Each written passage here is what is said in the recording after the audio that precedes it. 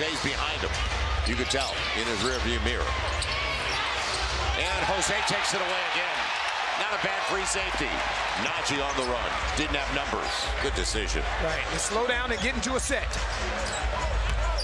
Naji wanted to go. And he will. Yes. Huerter with yes. the foul. It's a great, you said it, Joe. That's a great decision by Naji Marshall, right? There's nothing there. You pull it back out, get into a side pick and roll.